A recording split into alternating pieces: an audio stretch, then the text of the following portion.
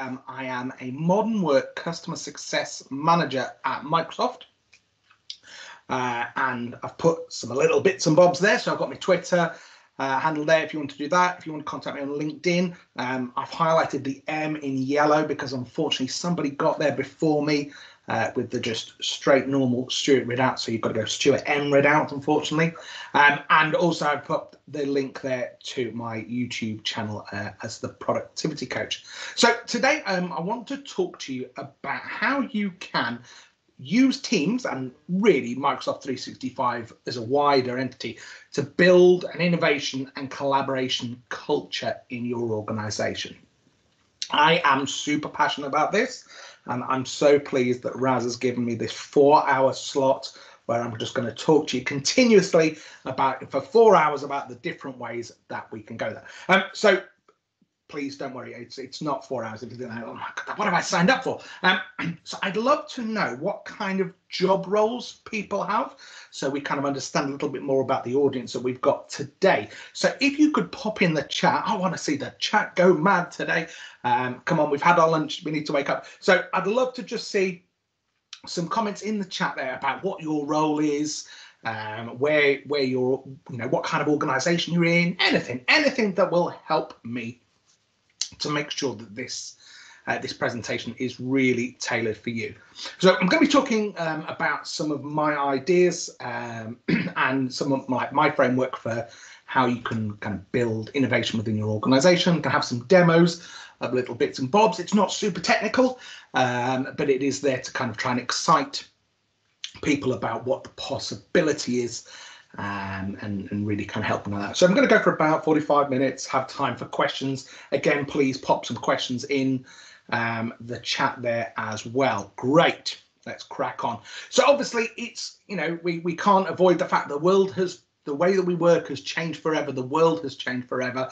Um, I, I still kind of look back to when kind of COVID started and I was like, does it, was it only, was it only March 2020? It feels like it was, feels like it was two years previously to that. Um, but obviously, the pandemic's pushed all of us to kind of transform and approach work differently. Um, and it, at Microsoft, we were talking about it way back then. We were talking about this this three level process about talking about uh, respond. So you know what were we doing immediately as soon as that the pandemic came?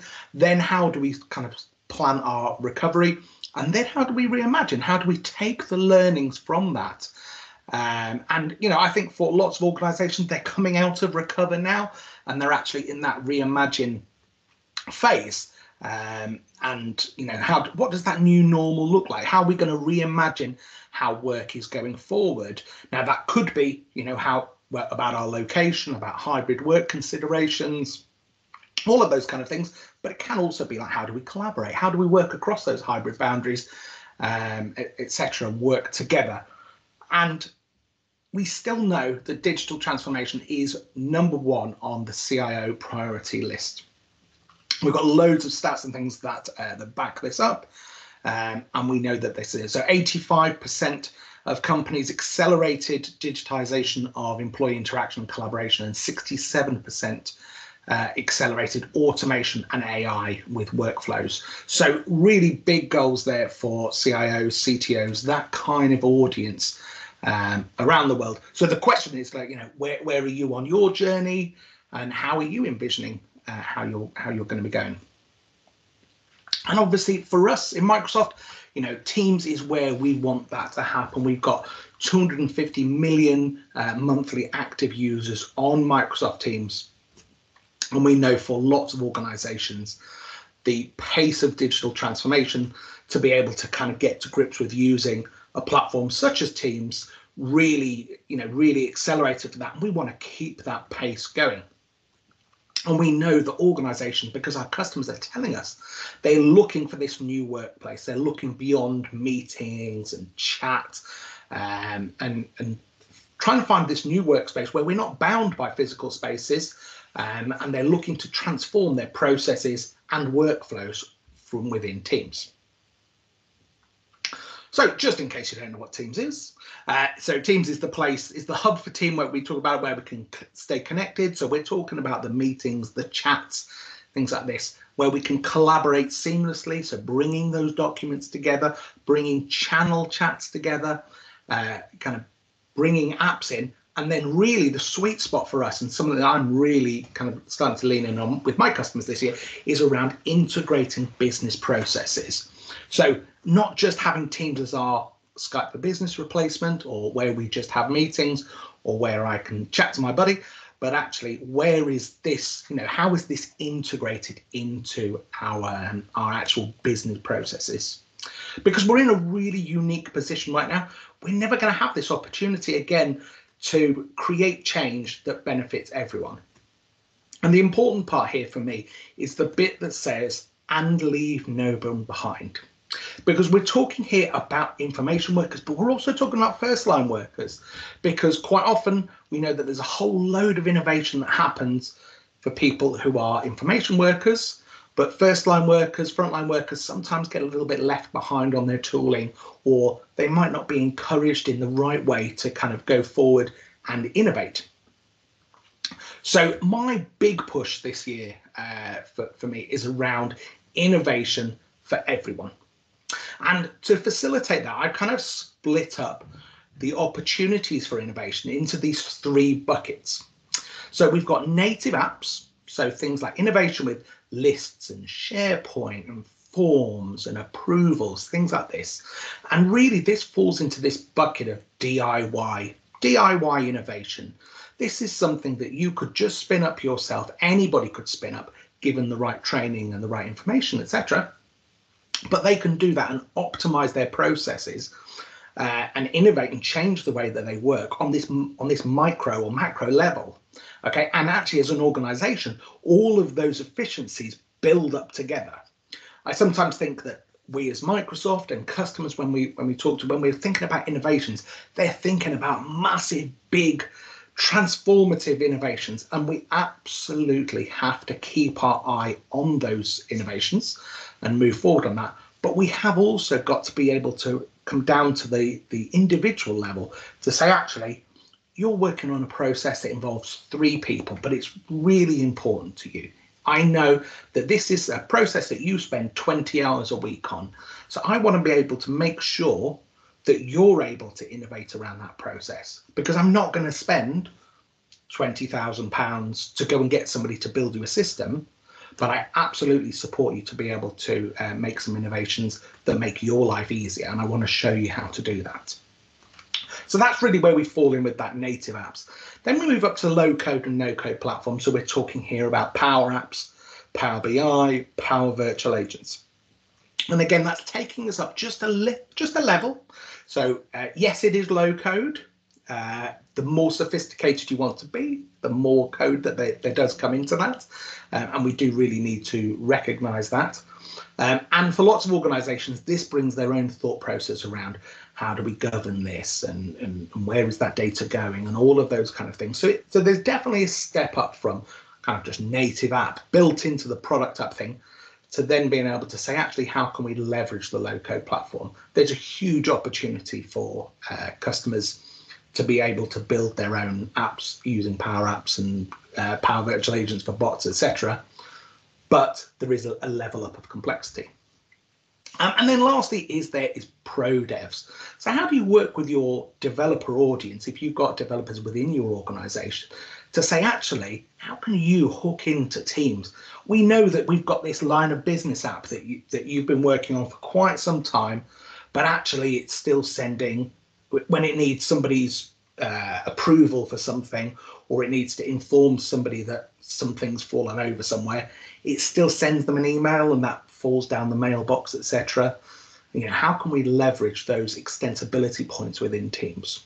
So i'm going to look at all three of those pillars today um, especially towards the end it's not going to be a how to but it is really kind of an idea to say, oh, actually giving you the idea about where those extensibility points exist into teams, so you can go back and have those conversations with developers and say, hmm, well, you know, I've seen, I've seen this uh, this guy talking about this. I'd like to see how we can use that in our system. So let's start then, and we'll look at native apps. What I should have said, apologies, is down the bottom is this orchestration layer. So Teams is the orchestration layer where everything comes in together And actually, Power Automate does a lot of the, the heavy lifting for us um, in lots of these kind of native and the low code scenarios. So lots of love there uh, for Power Automate as well. So I'm going to talk about native apps and I'm going to look at it from the context of project management. So we know that that is something that most organizations are very familiar with and they have that capability within their organization. And a lot of the time when I'm talking to my customers about how we can innovate, um, I talk to them about a crawl, walk, run approach. So let's not try to get to the absolute super duper mega automated AI infused wonderfulness yet. Let's kind of start at this crawl stage. Let's let's get some incremental gains because if we can build an MVP, a minimum viable product now, then we can build upon it and actually you could start to be getting value from that right now. So I've just picked out three examples here. One is around kind of risks and issues within uh, within a project management context. One's around kind of collaboration around documents and approvals. And then lastly, the last one is around uh, feedback and how we can use forms for that. So let's talk firstly around like risks and issue management and things like this. So lists is a great product built into Teams, part built into SharePoint as well. Excuse me. Um, and it's really, really powerful. But we know, especially in the project management world, people love a spreadsheet. But if we can get that data to come out of the spreadsheet and go into a list, we know that there's so much more power that comes from it. Whether that is that we can automate when things happen on a row by row basis, that we can do some great formatting, that we can link that list into awesome BI dashboards that allow us to, uh, to do wonderful things, that we've got item level histories and things like this list is a massive, massively uh, important thing there. So let's just take a look here, because I've said here that on the crawl um, one here, we're talking about templated lists. So if your uh, if your end users don't know, they can just go into any of these teams here. I'm into the, I'm in my NC640 sales channel, and if they hit the plus up here, there we go, and they can go onto lists here and I'm just going to click save when that's done. There are some really great templates that can get them started. So lots of people, we see them, they go straight here onto this creator list here. So here it is. They go, oh, I need to do this. And actually, you know, they don't look about whether there's other lists that people have got, etc. But when they go into that creator list, super templates. So if we were talking about issues, then I would probably say the best one there is to look at an issue tracker. So we can do this. It gives us a little preview about what that looks like. And I can see there, um, I've got the issue itself, I've got the description, I've got some really nice, nicely formatted priorities and statuses, etc. Uh, and if I scroll along here, I can link out to other things. Um, and I've got some calculations and things like this. So actually I can just click use template there, click create, and bam, in just a few seconds, you can actually have your, your end users, uh, people within your business to be able to track that through there. And that is a, that's just a, a typical crawl approach there that we could just say to people, instead of going into the spreadsheet, let's put in uh, in here. So let's say that the issue is that the security pass system, oops, is no longer working.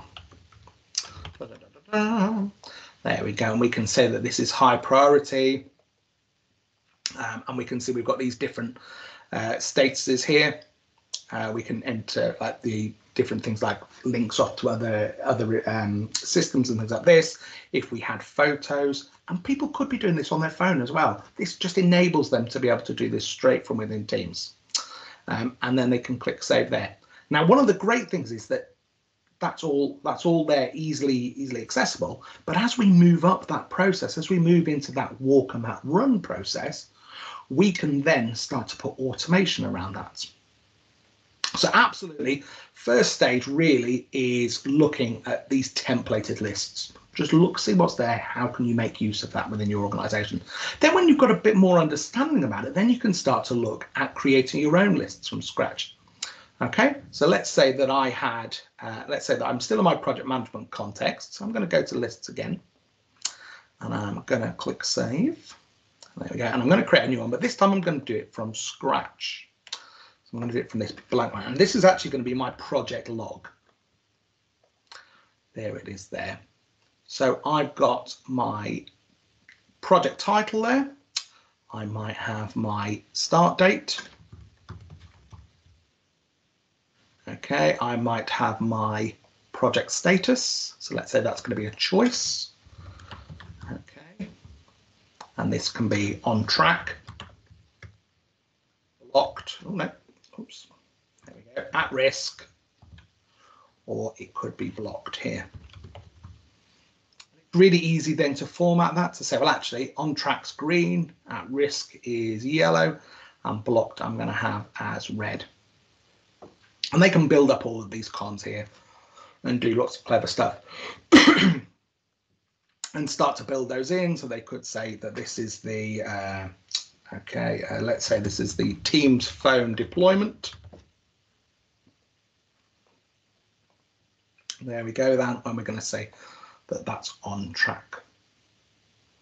So again, once they've got a little bit more understanding of it, they can then start to build their own lists up around that. And I, am getting there. I'm getting there. I know that everybody's desperate to get to the run part because this is where lists comes in, into its own and becomes really, really cool because then you can start to leverage Power Automate to say, well, actually, in my project log, if this gets changed to blocked, if a project manager goes in and says that their project's changed to be blocked, then I need to tell people and I need to shout it from the rooftops or whatever. And that's then when Power Automate really comes into its own. So let's just pop across to that. there we go. And again, this isn't, you know, we're not looking here to make a, um, a tutorial on Power Automate, but there are great flows and templates already in that, but I'm going to just create my own. And I'm going to do an automated one here because I just want to show you the possibility here. So I'm going to call this notify blocked. And I'm going to say when an item's created or modified in my SharePoint list, and I'm gonna pick my list. Where did I put it? Is it in retail? It's in retail. There we go, my project log. So I'm going to say when an item is uh, modified, then I'm going to put this condition in and I'm going to say if the project status value is equal to blocked, then what I'm going to do is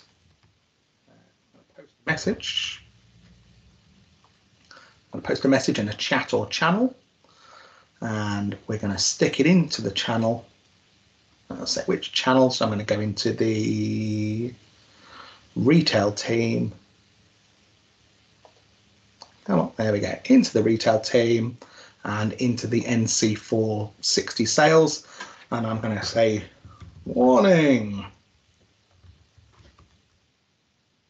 Let's make it, let's make it bold. Let's make it big. Yeah, let's make it red.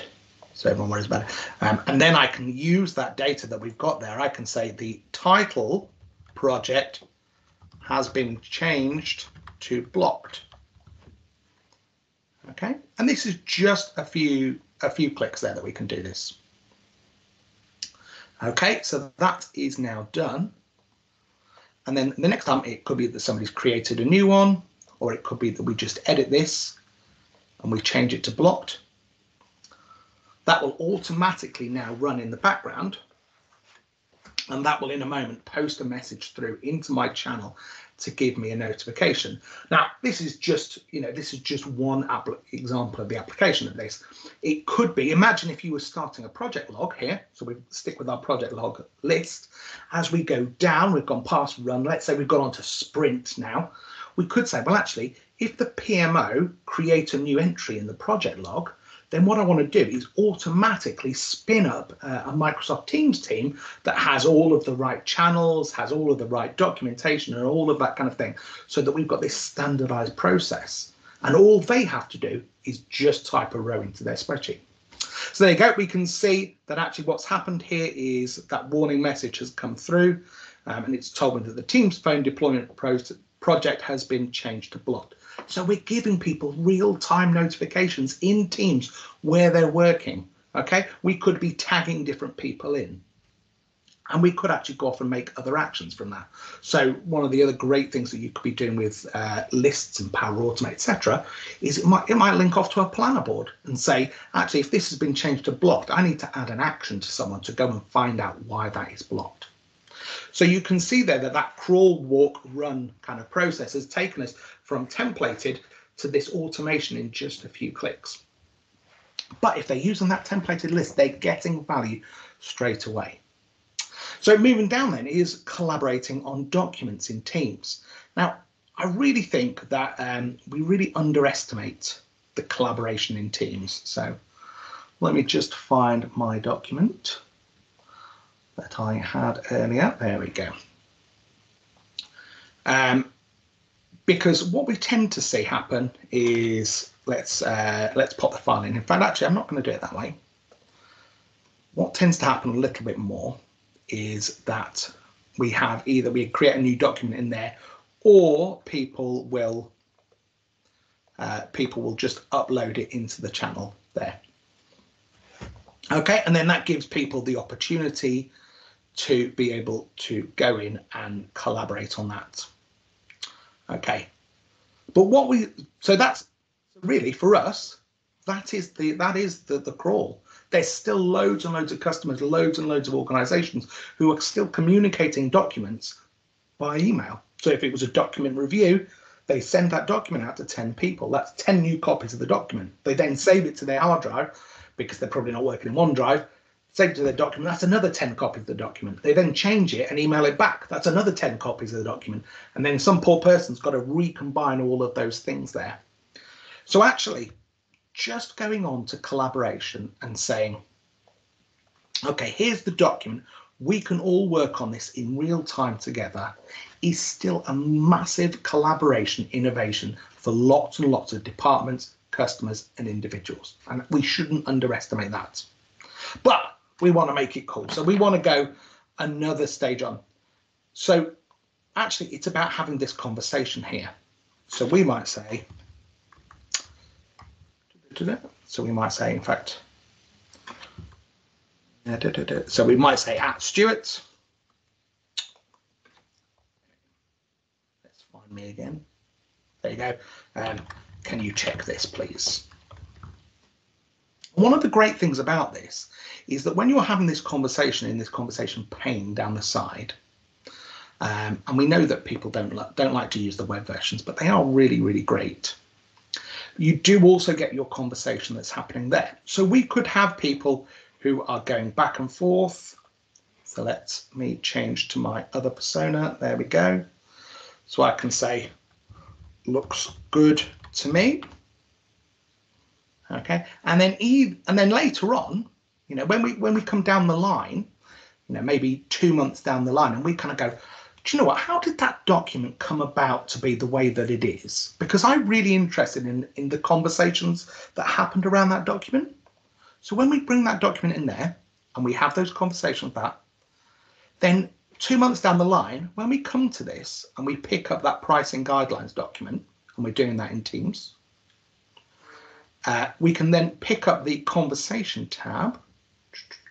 So now this conversation, this this file's long gone. You know, we the conversation's moved on. There's been hundreds of chat messages since then. If I open that document and I go to conversation, then the conversation history that's happened around that document is still attached to that object. So it's really powerful to come back to later to say, who was the person who suggested we add that bid in? or, or those kind of things. And I, I, think there's lots of people who underestimate um, the power of that. And then the last step in that in our crawl walk run, oops, the last step in our crawl walk run is actually saying, well, let's move to approvals. But again, let's let's keep it in line. So here I am here. Jack and I have been having this conversation about document. Maybe we've collaborated. I don't need to show you collaboration. We all know that. Okay. But what I can do here is I can click on reply under here and kind of go, right, I need Jack to, to sign it off now because he's the final person. So down here in these message extensions down the bottom here, there's this just this little fella here, the approvals uh, message extension. So I can click there and I can say um, approve pricing document. There it is there. And I could say that this is for Jack to approve. Now I could put multiple people in here, just keeping it simple uh, in here. Uh, and I've got require a response from all recipients. So if I had multiple, I could say I just need one person to approve it, or I need multiple people to approve it. Um, I could put some more info in here. Um, this is at final draft. Please approve. Okay. Uh, and actually, I could attach it up here, but I'm not going to because I've done it in the conversation flow. So it is still linked to that document that's further up. And this is just a straight approval rejection, but I could say actually there's different uh, different ones here. So I could say approve or approve with edits or reject things like this. Okay, uh, and I'm going to click send. Oh, I haven't used this before. So there you go, I need to, to approve it, but there you go. So now everybody who's in this team can see that that has been sent, which is just going through in the moment. Just give it a second. So now everybody can see that that's been sent. So I've sent that to Jack, but because because I put Jack's name on it, I can't do anything with that but everybody can see what the status is. So that really gives us really powerful visibility. If we think about how many times we send a document off to somebody to go and approve with it, and then you're going, well, have they have they replied yet? Oh, well, I don't know whether they've replied because it came by email, and the email would have gone back to Jack, but Jack's on leave, and things like this. So here, everybody can see what's happening. It's really, really super transparent.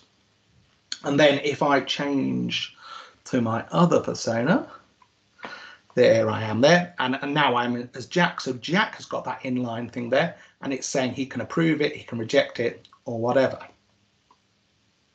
So I can approve that.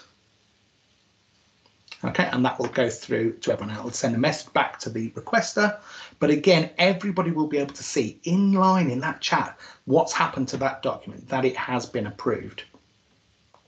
Now you might say, well, actually, I'm in loads of different teams and I'm all over the place and I've got approvals. I've got approvals everywhere. How do I know where all of those approvals are? And that's where the actual approvals app itself comes in. Because if you pull this approvals app here up on the uh, left hand side, there we go there, we can see actually here's the one. So these are ones that I've received.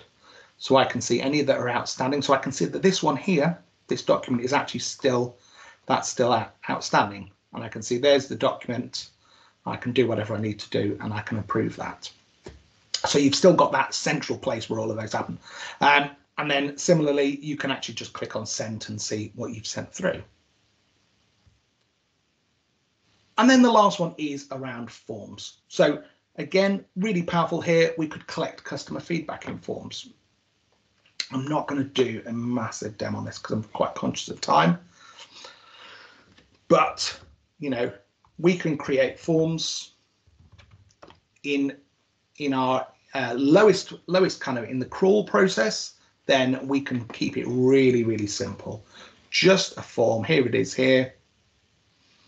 Okay, picking up some details. So let's say that this was our customer satisfaction form. Okay. And, and there you go. So I've said it's a customer satisfaction form form knows actually here are the types of questions that people ask on customer satisfaction. So it's actually now trying to help you to do that. So um, you know how how responsive have we been to your questions and concerns? Um, how likely are you to recommend us? Please you know how would you rate value for money? Please share any additional comments. All of those things.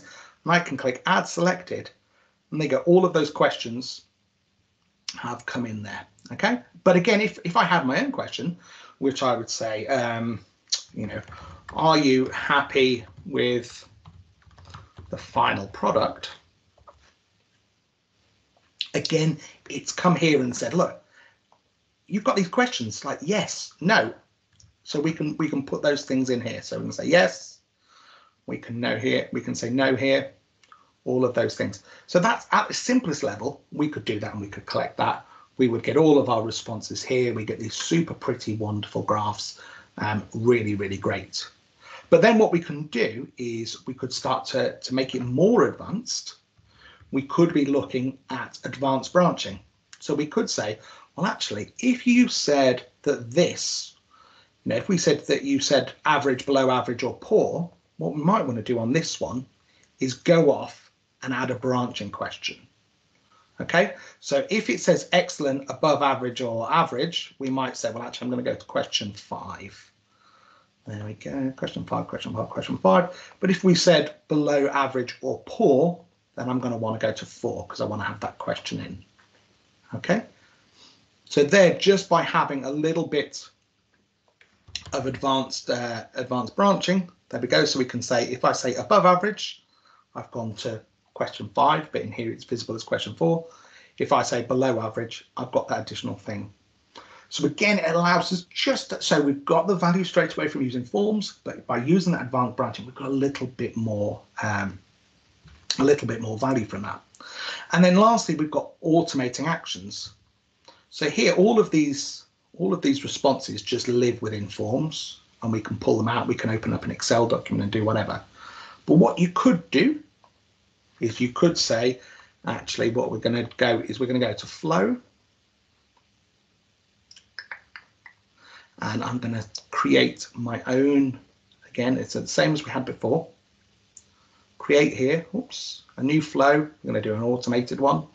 Okay, and I'm going to call this unhappy customer. Okay, and I'm going to say when a new form uh, response comes in, what I want to do, so where it is my customer satisfaction form, what I want to do is I want to get the form response So when it comes here, I want to get those response details from the form, the one that's just come in. Okay, and then what I want to do is say that if are, are you happy with the product is no, okay, then I want to notify somebody. I need to notify the person who's responsible for that so that they get that straight away and they can jump on that and say, oh, I'm really sorry that you've said uh, that you're not happy. How can we make that better for you? And really helps with that customer satisfaction. Now, none of those things are like massive, you know, massively high value solutions in their own right that would warrant somebody going off and making a business case, then getting some business analysts to go and look at things, then going off and hiring some developer who's going to do that. But imagine if you had 10,000 people and those 10,000 people we're all able to kind of save half an hour a week by using any of these things. That's a lot of time you're getting back within your organization.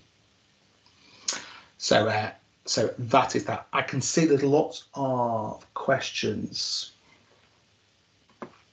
Uh, da, da, da, How can I can I create a clickable link to that post in the flow? I'm really sorry, Sophie. I've rattled on for so long. I don't know what the context of the thing was. So if you could perhaps just pop the context in the chat, then I will I will pick that bit. I'll pick that bit up there. Uh, interesting distinction between where are the approvals versus how can I make sure I don't miss an approval. It doesn't actually matter where the doc app list item is stored as long as you don't miss one. Absolutely, that's a great that's that's a great shout. And I'm going to use a Microsoft example here. So we have um, we have a, a, system internally that gives us access to certain customer details and things like this. And every three months, because we're super responsible, you have to reattest to say, yes, I still need access to this, this data, etc. And it goes to your manager. Now, currently, it goes to my manager by email. If he misses that email, then on such and such a date, then it will expire. Then I have to go and badger him. Uh, and then I have to go and do it. And then I have to wait two days for that for him to click through, for it to be uh, kind of automated and things like this. So that's a great process there to actually say, you know, let's stop that being an email approval. Let's bring that into be approvals. This is actually that's actually a, that comes later in the pro code there. Uh, Kerry, can you automate generating a single form response to PDF and saving it to Microsoft Teams? Absolutely, you can. So Forms is super powerful. Uh, so when we go into here, there are great partners who build things in here. So some of them are, are premium ones where you might need to go and uh, pay for the partner to do it. But things like here, you might you can gonna uh, so Encodian allows you to do things here where you can convert PDFs, like convert like an HTML to a PDF, PDFs to words, convert the post to those kind of things, um, all of those kind of things. Um, and there are other ways that you can do it. You can generate Word files as well. Um, and I believe, I believe there is a session on later, I think, about some stuff like that. I've got a slide right at the end, which is saying, oh, here are some cool other sessions that you might be interested in. Uh, Sophie's come back. When we automate the notification to Teams, that a, when we automate the notification to Teams that a new item is created in a list, can I? Oh yes, can I go to item via the posted message in the channel? Absolutely, absolutely, great, great, great, great shout. Let's just go back to here. I think it was this one, notify blocked. So yeah, great shout. So what we could do here is say this project item's been um, changed to blocked, and then I could say um, link to item, and then that will generate that link to an item. And actually, if I wrapped it up here with this link tag, then it would do that as well. So um, yes, absolutely, you can do that. We've got the data, you can do it. It's all super duper clever. Super duper clever stuff. All right, okay, so now I want to move on, then look at low code. Um, so I'm sure you've had lots and lots of stuff about low code. Everybody's talking about low code and no code, about the Power Platform.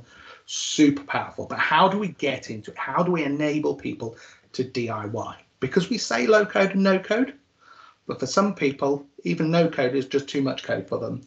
Too many buttons where they go, oh, this looks really scary for me, or uh, things like this. So actually, let's go back to our crawl, walk, run kind of template here. So crawl is to look at some of the templated apps, templated bots and templated flows.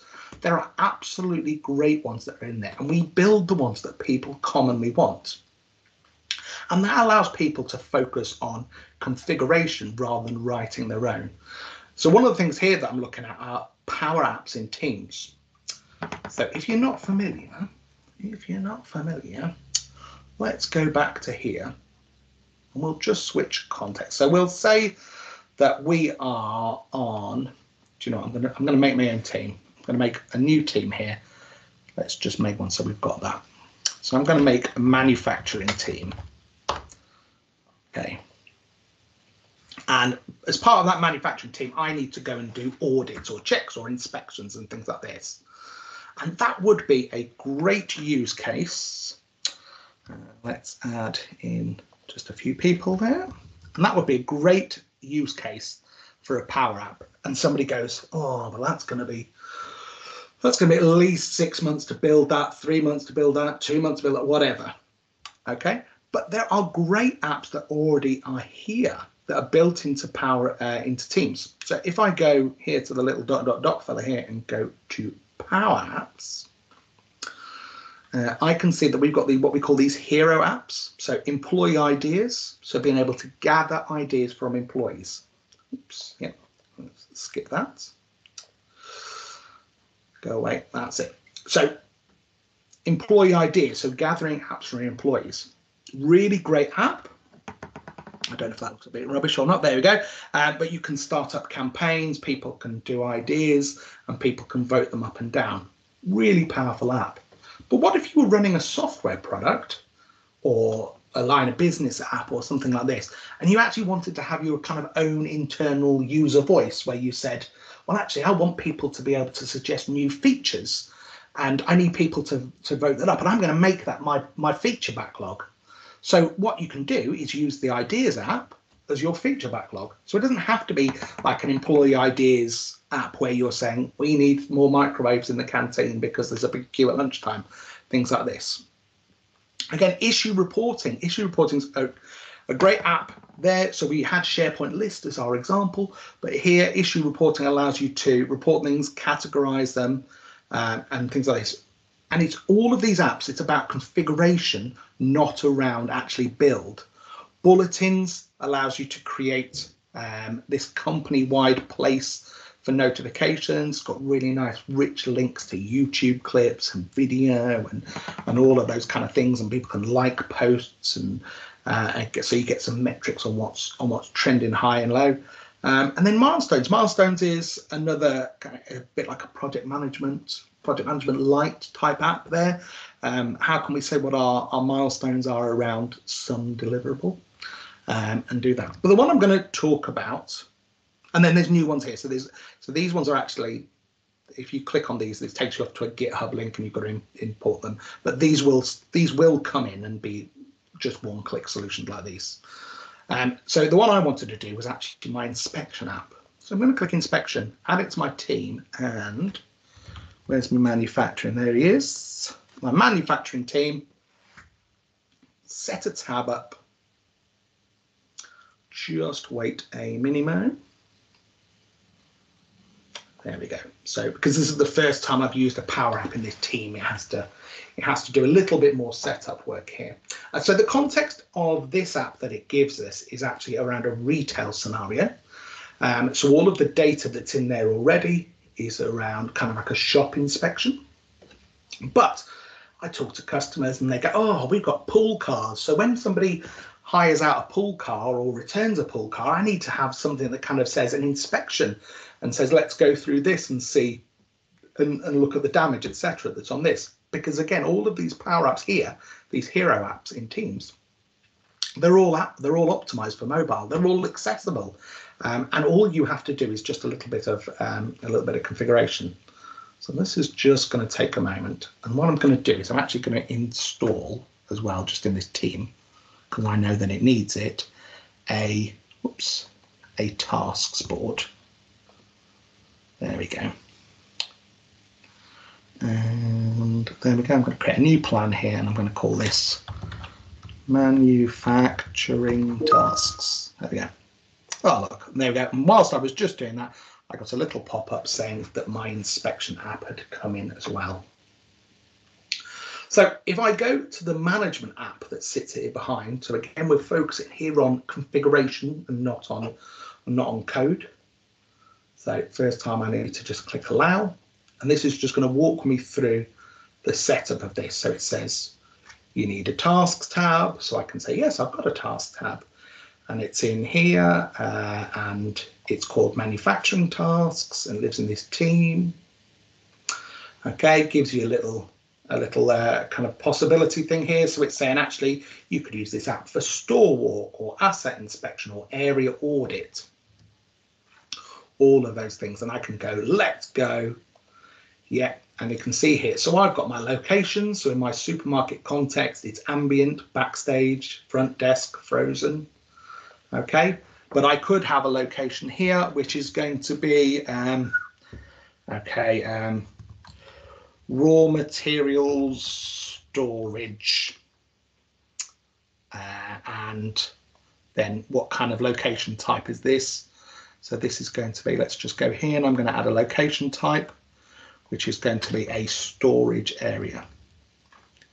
There we go. So, da da da da da da.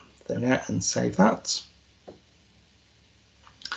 Uh, and go back. So, let's do that again. So, raw materials storage, and that is going to be. Oh, I didn't save it properly. Oops. That's going to be a new type. But you can see here that we could have picked a clothing one, etc., or a food one. So let's save that. Okay, and then what we have here are our inspection forms. So we've got a uh, inspection form here, and let's say that this was going to be the uh, materials storage audit and I might say that that only applies to the food area and new type because I didn't put it in there properly. But I could say, okay, so the checklist steps are that we need to um, ensure all um, high item storage has warning signs. I don't know, I'm making this up now. I should have thought about this more. I can add inspect uh, instructions on what that audit step looks like, and I could say it's either okay or it's got an issue or it's not uh, or it's not applicable. And then I could also include a photo to say this is what good looks like. Okay, let's do another one here, which is going to be um, high value items are stored in a locked area. There we go. So I'll just save those two steps there. Okay, I'm just going to go back here and just check that. Okay, so I put it as food. That's all right, just for the moment. Okay, but I've got um, I've got that audit there. So really, really, it's quite lightweight on the uh, on the configuration here. So then I can, um, oops, I clicked in the wrong place. I can then go to the inspection app. So here I'm doing it on my on my laptop, but I could be doing it on my phone as well. So this is what the end user would see. And then here they can say, all right, okay, I'm going to perform an inspection and I'm going to be doing the inspection in the raw storage area and it's going to be the material storage audit. So here we can say ensure all high item storage has warning signs. So I can say, yes, that has, okay, that's fine. High value items are stored in a locked area. I know there's an issue here. I'm going to add a photo. So let's pretend I'm on a phone. I would have taken a photo of that. Um, I can add a note here. So um, very valuable stuff out in the open. Okay, I can save that note attached to that. But this is where it gets really great is I could also just do a task. So if I click on the task pane, I could assign that to someone. So let's of assign it to me as one of my other personas. And I can say very valuable stuff out in the open, put it away. Okay, and then I can add that task into there. Okay, so I go and do my inspection. That's all done. I'm happy with that. I can click submit inspection. This will just take a mini note. There it goes. Okay. And then there's another app that's in there that's for reviewing that. So to say, well, actually, I'm giving you, you're the person who needs to review the inspections. So you might have multiple sites and they might be doing this all over the place. And they can say, and we can say, ah, the raw materials storage one here, oh, there's uh, an audit that came in this morning. I need to just check that. Ah, I can see here, there's an issue to that. Okay, so um, this is pending action now, and I can go back and, and do that. So track those across there. Now, what happened to that task that you put in? I hear you ask. Uh, and there it is. So if I go to the manufacturing task board, here is that task. It's been automatically assigned to that person. They'll get a notification to do that. And that is actually all in the crawl stage. We haven't even gone on to walk or run. We've just gone into the crawl bit. Um, and then as we walk up, you know, we can start to customize those, build our own versions, and then really coming up to use the run, you could uh, really add the complexity in.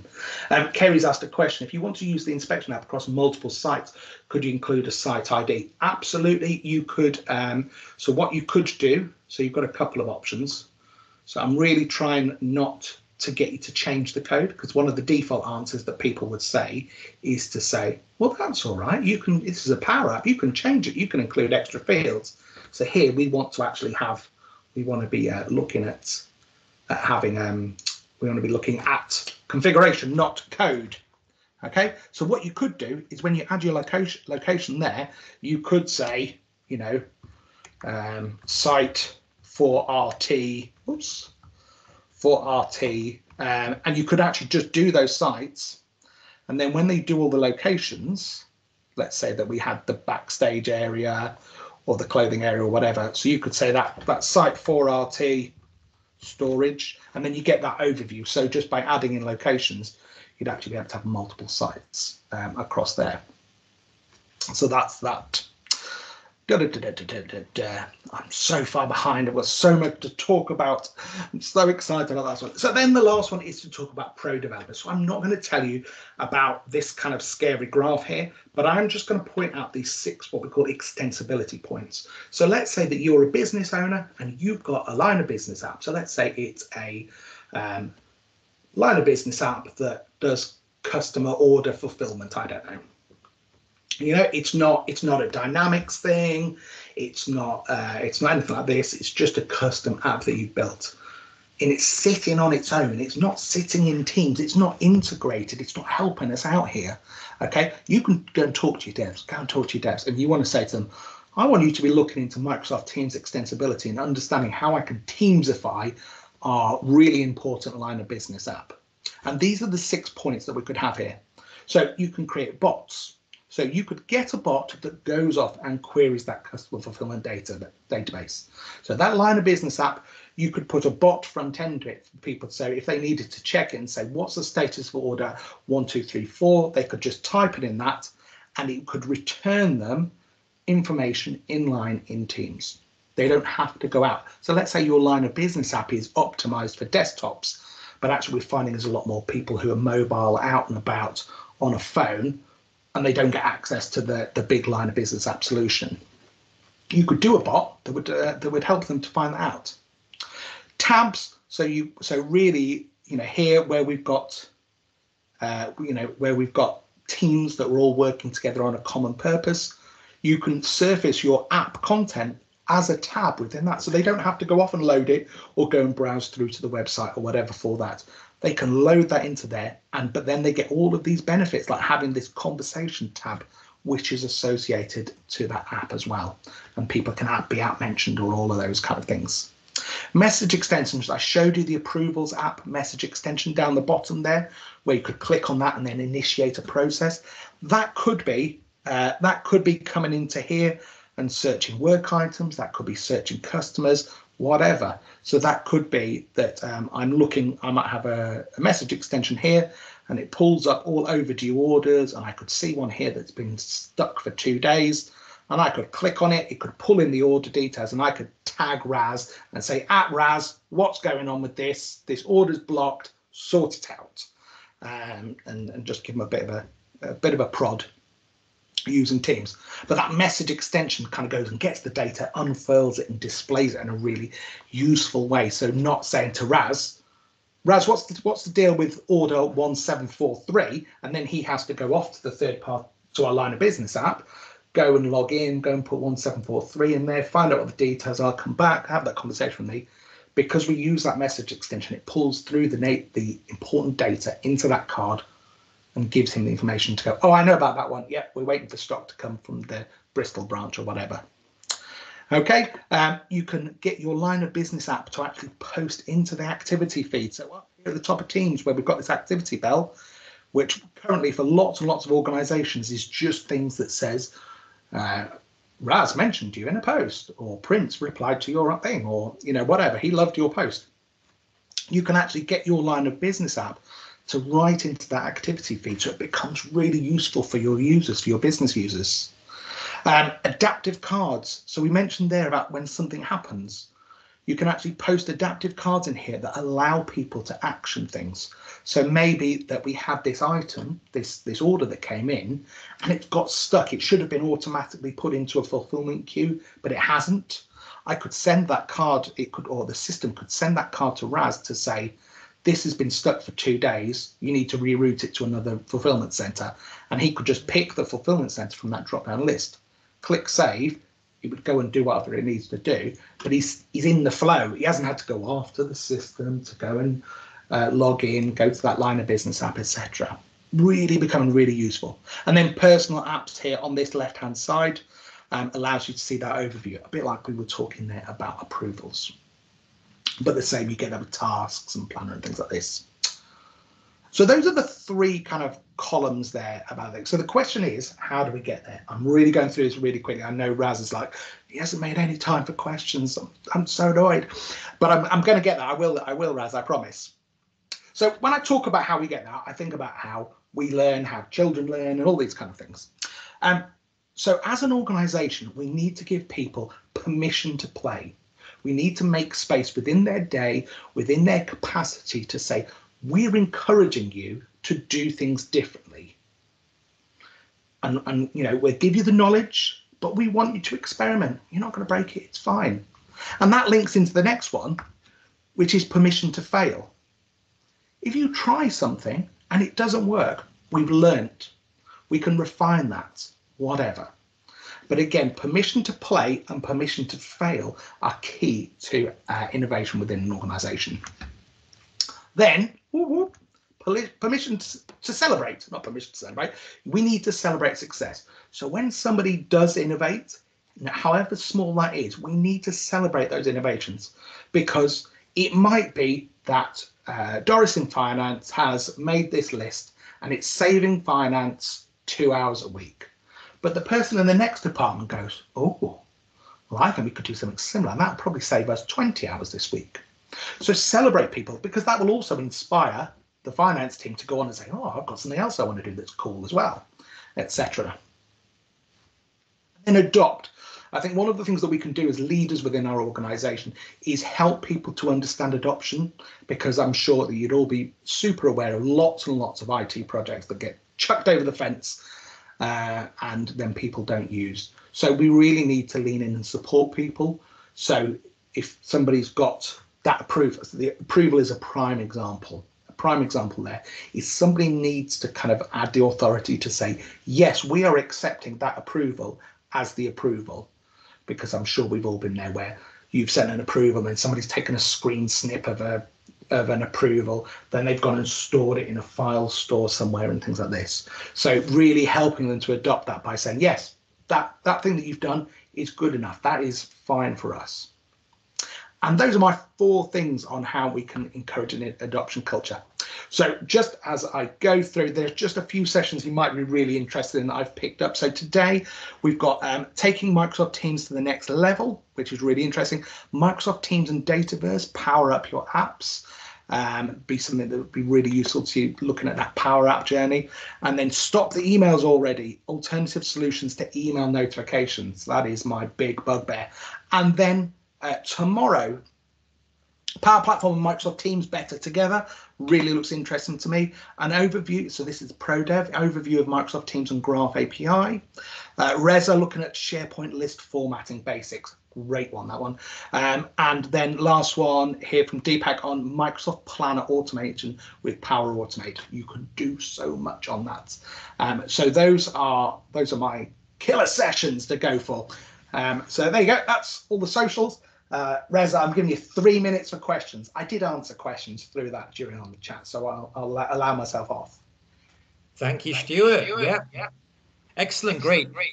So there is one question um, by Kerry Baker.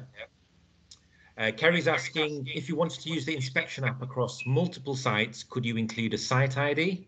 Oh, you've answered it already. I answered that one already. yeah, fantastic. Well, look, there's lots of great feedback here. Um, again, big thanks to Stuart. You covered a lot of ground today. A great zero to hero kind of session to get people confident in, use, in using Teams to start driving the collaboration. So again, big, big thank you to Stuart. Stuart, um, so you've got your um, obviously your Twitter link, your LinkedIn, and then your YouTube. I've shared your YouTube. You've got lots of great content on your YouTube. So make sure you follow that YouTube channel. Make sure you follow Stuart on LinkedIn. You're always publishing content on a regular basis, aren't you, Stuart? I am. I am. Lots and lots, lots and lots of uh, customers then share that uh, internally as part of their adoption efforts and things like this. Um, so yes, please, please go and, uh, and go and look on that. So yeah, thank you very much for having me today. Though I've loved it. Thank you, Stuart. We hope to see you soon in person. Um, oh, me too. Me too. I really, I'm, I'm itching. I'm itching for in-person conferences. Fantastic, Stuart. So once again, that was Stuart Ryder. Make sure you follow him on Twitter, LinkedIn, YouTube. I'll be sharing the, the links. If not, if you can share the links, do it in the chat uh, to make it easy for people to connect with you. Um, that'd be really helpful. Um, so there you have it. That was Stuart. Um, so that was a Stuart Ridout experience. Make sure you follow him on YouTube, LinkedIn, Twitter uh, to keep up to date with all this cool up-to-date information and these tips that are going to really help your organizations keep up to pace and improve their collaboration efforts. So once again, big, big, huge thanks to Stuart. Thank you. Hope to see you soon. Thanks. Fantastic. That was Stuart. Okay. Um, so now moving on.